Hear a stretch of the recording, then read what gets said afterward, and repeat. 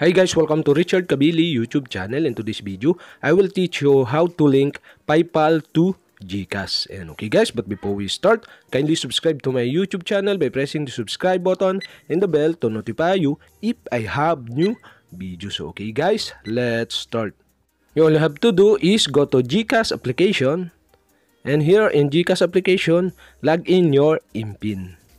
And okay guys, after you log in your IMPIN, okay, here in GCash dashboard, click profile picture below. And here in profile, click my link account. And okay guys, here in my link account, you can see the PayPal. Okay, click PayPal.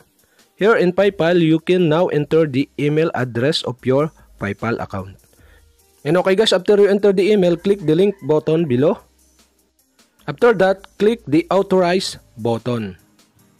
And now enter the email or phone number and click next button.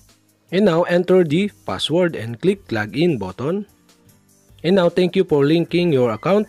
We have sent confirmation email and now select or click the close and continue button.